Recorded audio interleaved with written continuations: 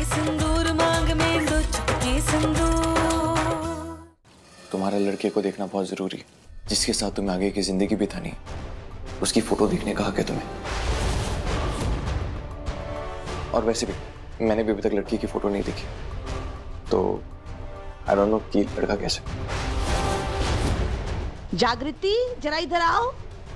आई दादी आप मैं अभी आई।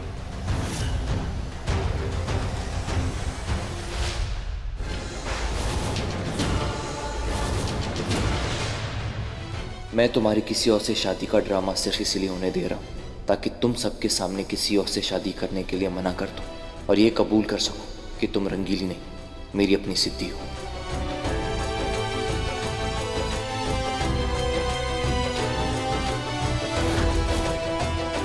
हम दूसरी शादी का सिर्फ़ नाटक कर रहे हैं किसी और से शादी करेंगे ताकि आप माया के साथ शादी कर क्योंकि वो आपके बच्चे की माँ बनने वाली है।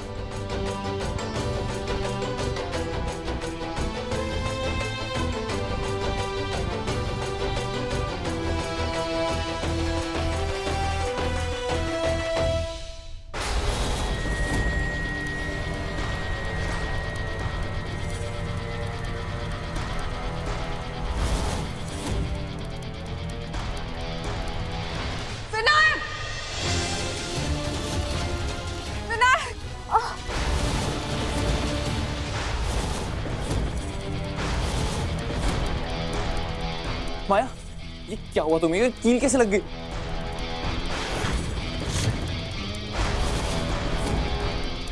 वो कील यहाँ पड़ी हुई थी। हमारा ध्यान नहीं गया। हमारा पैर लग गया उस पर तुम्हें देख के चलना चाहिए था ना गोरी में? पेट से हो तुम। आराम से चलना चाहिए। मैं मदद कर देती हूँ। एक मिनट रंगीली। एक मिनट।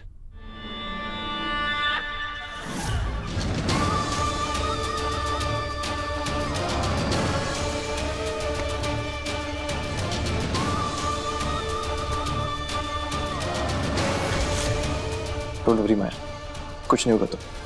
मैं हूँ ना।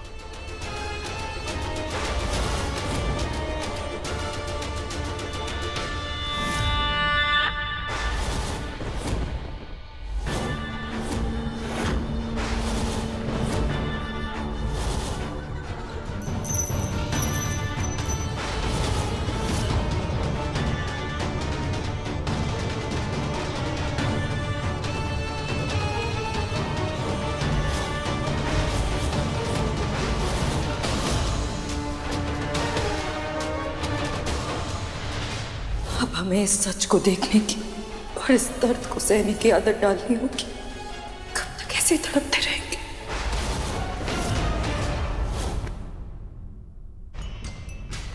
विनायक हम जानते हैं आप कभी हमें या हमारे बच्चे को कुछ नहीं होने देंगे। थैंक यू विनायक सर दादी आप सबको नीचे बुला रही है। इस नौकरानी को देखने के लिए लड़के वाले आ गए हैं।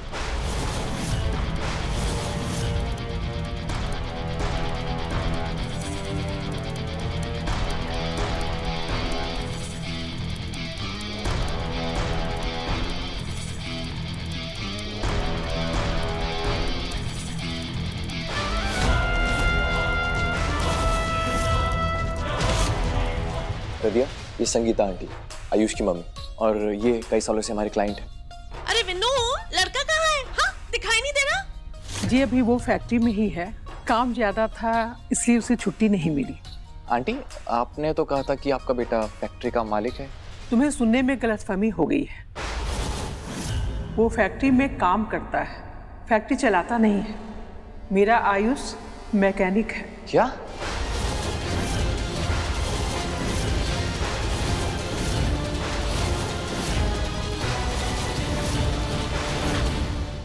वाह विनायक जी। क्या लड़का ढूंढा है आपने? ये सिद्धि किसी मकैनिक के ही लायक है।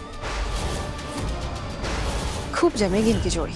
वो कहते हैं ना, शाम मिलाए जोड़ी एक अंधा और एक कोड़ी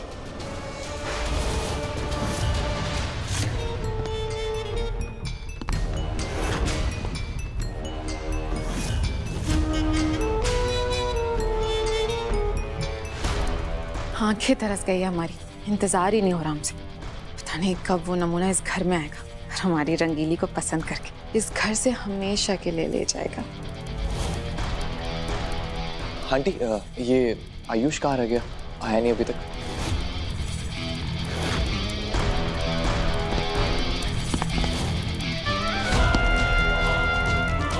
मेरा बेटा आ गया।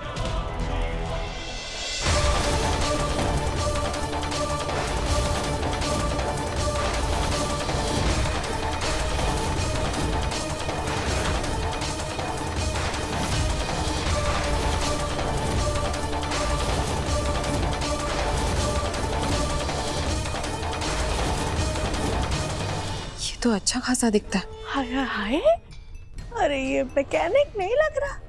ये तो किसी फ़िल्म का हीरो लग रहा है। हाँ? नमस्ते।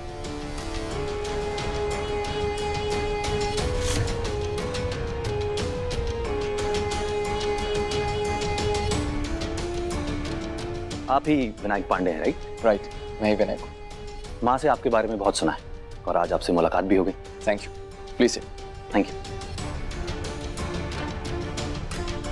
Ayush if you don't mind मैं आपसे एक सवाल कर सकता हूँ। पूछिए आई मीन तुम करते क्या? हो काम क्या करते? हाय हाय हाय बिन्नू बताया ना अभी। एक छोटी सी फैक्ट्री में मैकेनिक है। मॉम बिल्कुल ठीक कह रही। मैकेनिक ही हूँ बेसिकली डेढ़ सौ लोगों को एक साथ एक छत के नीचे इकट्ठा करके एक बड़ी सी फैक्ट्री चलाने वाला एक मैकेनिक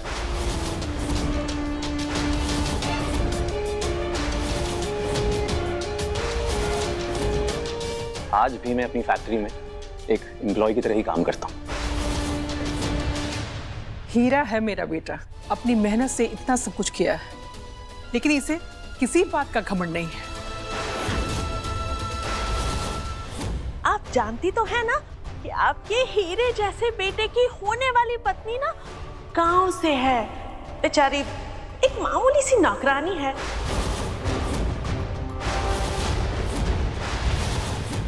जी, मुझे पता है। माँ ने मुझे रंगीली के बारे में सब कुछ बता दिया। और मेरा मानना है कि इंसान काम या पैसों से छोटा बड़ा नहीं होता। उसकी पर्सनालिटी उसका कैरेक्टर उसका स्टेटस मायने रखता है। और मायने रखता है उसकी सोच और उसके संस्कार। मेरी माँ भी गाँव से ही है। पापा के जाने के बाद ज़िंदगी में आगे बढ़ने के लिए उन्होंने अकेले ही मेहनत की। मैं तब बहुत छोटा था। माँ ने जूते बनाने वाली जिस ब्रांड को स्टार्ट किया, आज उसका आगरा में बहुत अच्छा नाम है। और अगर आप मेरी माने तो मुझे रंगीली जैसी स्वाभिमानी लड़की चाहिए थी अपने लिए।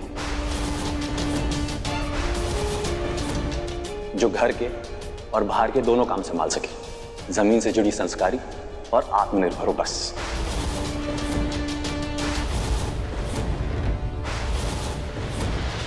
वैसे रंगीली है कहाँ? बुलाइए ना उसे।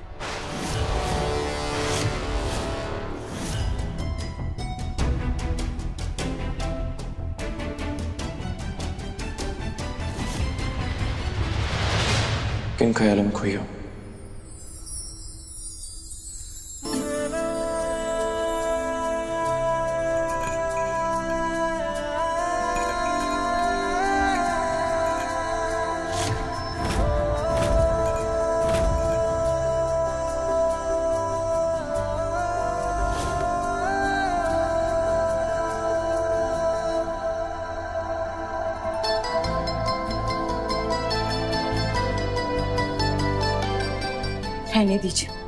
मैं कर लूँगी।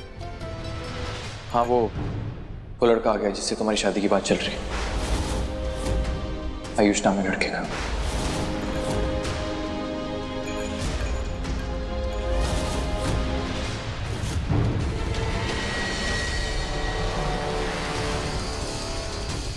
लो रंगीली भी आ गई।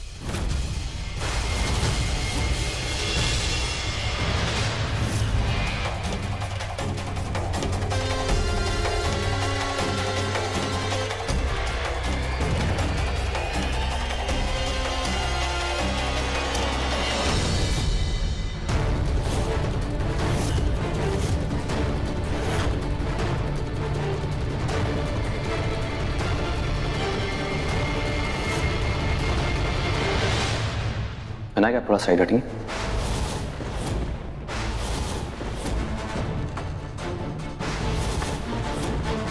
मैंने कुछ कहा आपसे। आप थोड़ा पीछे हटिए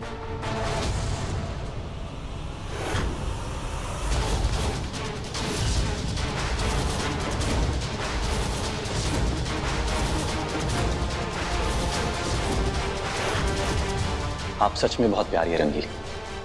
क्या आप मुझसे शादी करके मुझे अपने जीवन साथी के रूप में एक्सेप्ट करोगे?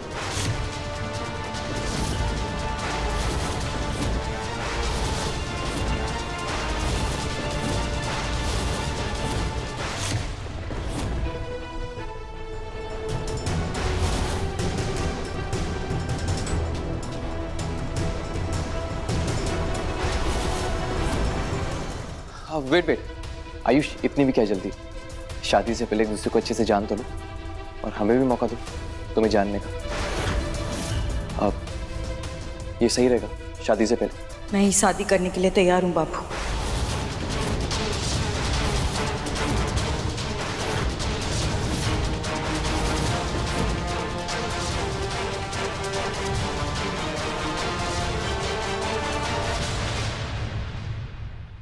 थैंक यू रंगीली मेरा प्रपोजल एक्सेप्ट करने के लिए।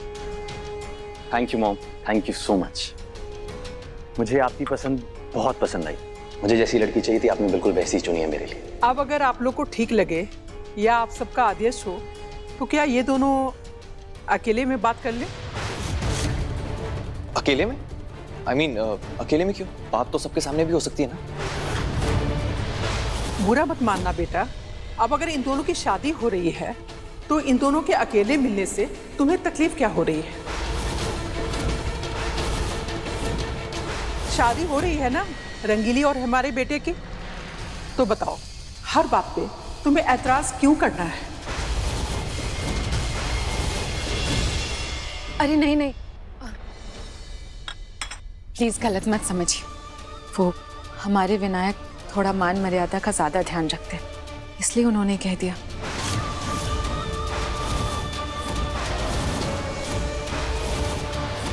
ए, ए, एक मिनट। क्या है ना हमारे परिवार की परंपरा है। पहले लड़के और लड़की दोनों की कुंडलियाँ मिलाई जाएँगी। उसके बाद ही हम किसी निर्णय पर पहुँच पाएँगे।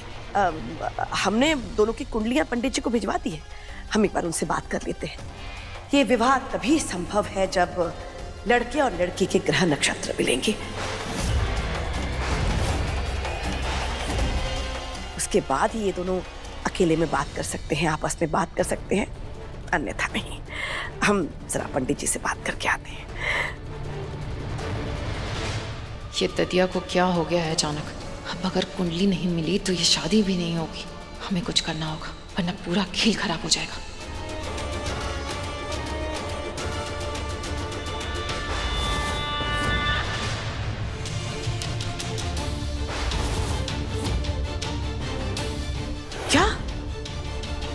ये आप क्या कह रहे हैं पंडित जी? बात यह है कि विनायक की कुंडली में विवाह का मत एक ही योग है। और ग्रहों की चाल के अनुसार किसी कारण उनकी दूसरी शादी होती है तो ये इनके हित में नहीं होगा। उन पे कोई भारी संकट आना तय है? जिसमें उनके प्राण भी जा सकते हैं। ये आप आप क्या कह रहे हैं पंडित जी? मैं तो बस इतना ही कहूँगा। जो भी निर्णय लीजिएगा सोच समझ कर लीजिएगा। शिव शिव शिव शिव शिव। ये सिद्धि बहू क्यों होने दे रही है? अपनी ही दूसरी शादी वाला कांड ये सब हमें बिल्कुल अच्छा नहीं लग रहा। कुछ भी नहीं। अब जब विनायक की कुंडली में दूसरी शादी का योग है ही नहीं तो हमें तुरंत नीचे जाकर सिद्धि बहू की दूसरी शादी का नाटक रोकना होगा। और रही बात माया के पेट में पल रहे विनायक के बच्चे की। तो उसका भी कोई तोड़ निकाल ही लेंगे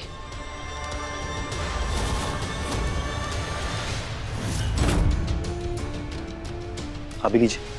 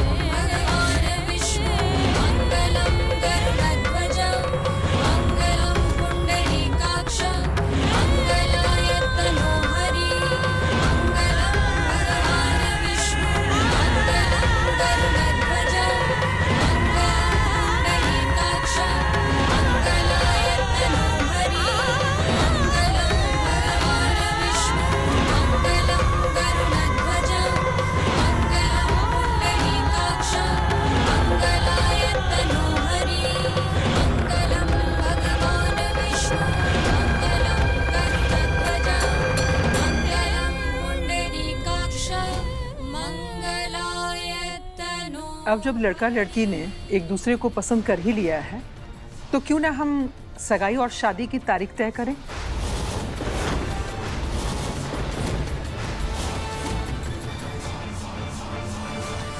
एक मिनट। ये विवाह नहीं हो सकता।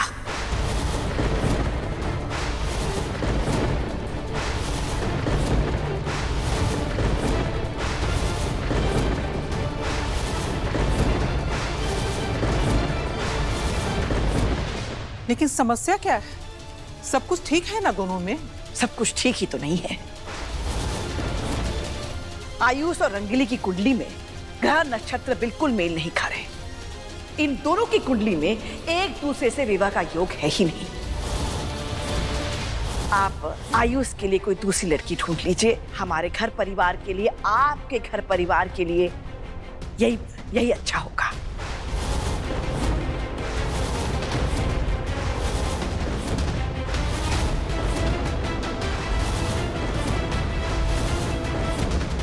अगर सचमुच ऐसा है तो विवाह नहीं होना चाहिए।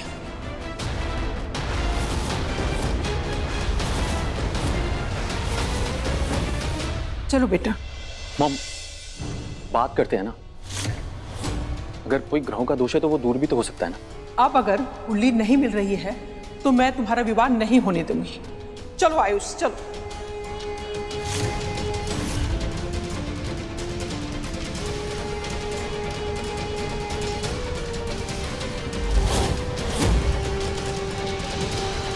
रंगीली, जरा आओ हमारे साथ। तुमसे कुछ आवश्यक चर्चा करनी है।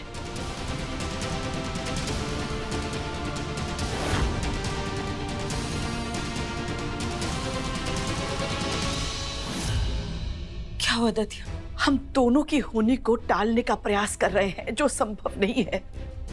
हम बस इतना जानते हैं कि हमारे घर, हमारे परिवार, हम सबके लिए यही अच्छा है। तुम रंगीली का ये नाटक अभी के अभी समाप्त कर दो।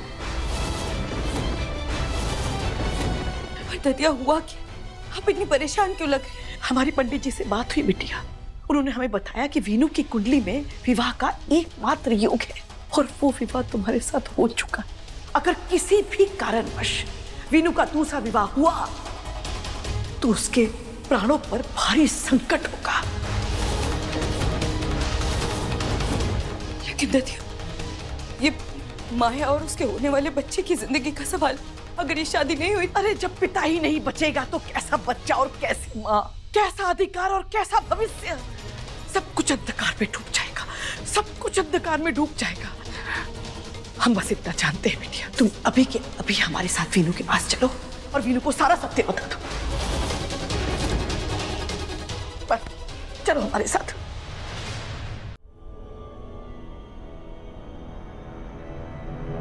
मुझे पंडित जी ने सब बता दिया, दतिया।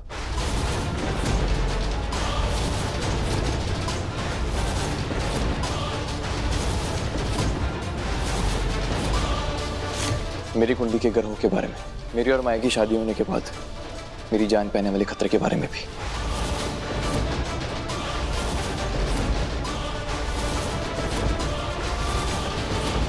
मीनू हम तुम्हारा दूसरा विवाह नहीं होने दे सकते।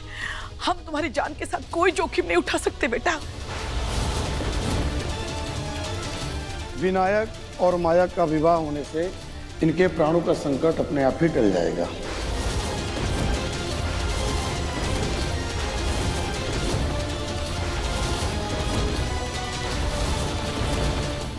क्षमा चाहता हूँ माता जी ग्रहों के मिलान में थोड़ी त्रुटि हो गई। एक बार जब मैंने विनायक और माया जी की कुंडली को वापस मिलान किया तो इन दोनों की कुंडली के अनुसार, ग्रह दशाओं के अनुसार विवाह का उत्तम योग बनता है। एक बहुत खुशखबरी है, माया जी की कुंडली में एक ऐसा विशेष योग है, जिससे कि जैसे ही विनायक जी से शादी होगी, इनके जीवन में आने वाले सारे संकट अपने आप टल जाएँगे। नहीं मैं सिद्धि को छोड़कर माया से शादी नहीं करना चाहता। ये पंडित चाहे कुछ भी कहे बच्चे की ज़िम्मेदारी मैं उठा लूँगा। लेकिन सिद्धि के अलावा और किसी से शादी नहीं करूँगा।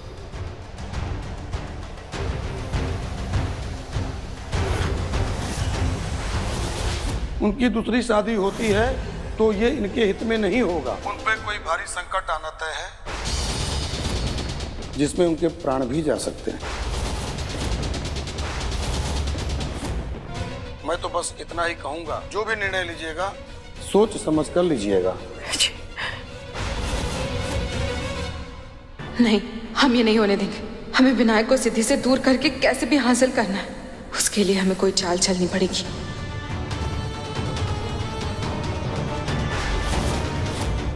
हेलो पंडित जी। वो हमें आपसे कुछ ज़रूरी काम था इसलिए हमने आपको कॉल किया। आप हमारी बात ध्यान से सुनिए।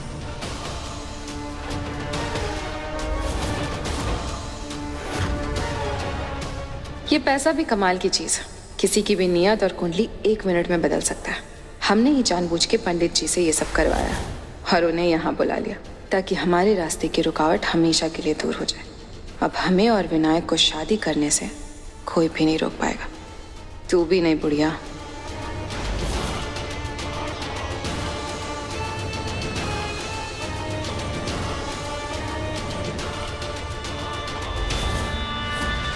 इस घर में अब दो शादियाँ होंगी। पहले रंगीली और आयुष की, और फिर हमारी और विनायक की।